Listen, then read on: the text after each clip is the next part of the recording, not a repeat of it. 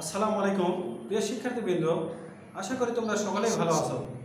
আমিও তোমাদের দোয়ায় আল্লাহর রহমতে ভালো আছি।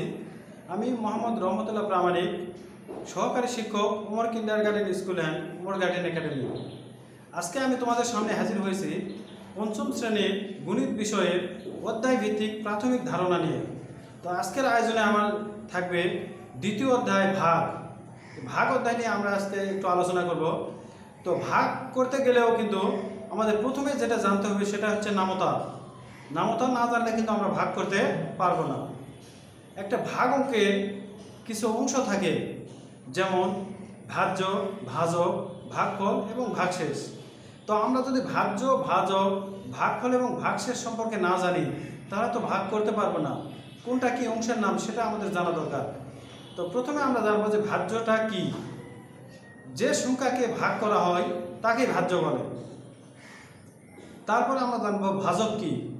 যে সংখ্যা দ্বারা ভাগ করা হয়, তাকে ভাজক বলা হয়। এরপরে জানব আমরা ভাগফল কি? ভাগ করে যে সংখ্যা পাওয়া যায়, তাকে ভাগফল বলে।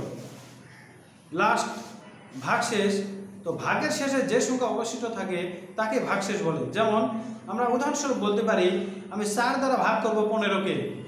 তাহলে চার দ্বারা যদি আমি পনেরোকে ভাগ দেই, তো চারটা হচ্ছে ভাজক আর পনেরোটা হচ্ছে ভাজ্য। কতবার দিব? তিনবার। তিন চারা বারো। তাহলে তিনবার দিলাম, তিন হলো ভাগফল আর বারো। তাহলে পনেরোর নিচে আমরা যে বারোটা লিখলাম, তিন চারা বারো, পনেরো থেকে বারো বাদ দিলে আমরা কত পাবো? তিন। এই তিনই হচ্ছে ভাগশেষ। ভাগের আরও কিছু বেসিক ধারণা আছে, যেটা হচ্ছে যে সূত্র আছে, নিঃশেষে বিভাজ্য হলে এবং না হলে। তো আমরা প্রথমে জানব যে নিঃশেষে বিভাজ্য হলে ভাগের সূত্রগুলো ভাজ্য সমান ভাজক গুণ ভাগফল। ভাগফল সমান ভাজ্য ভাগ ভাজক। আবার ভাজক সমান ভাজ্য ভাগ ভাগফল। এরপরে আমরা জানব নিঃশেষে বিভাজ্য না হলে ভাজ্য সমান ভাজক গুণ ভাগফল যোগ ভাগশেষ। এরপর ভাজক সমান ভাজ্য বিয়োগ ভাগশেষ ব্র্যাকেটে থাকবে ভাগ হচ্ছে ভাগফল। আবার ভাগফল সমান, ভাজ্য বিয়োগ ভাগশেষ ব্র্যাকেটে থাকবে, ভাগ হচ্ছে ভাজক।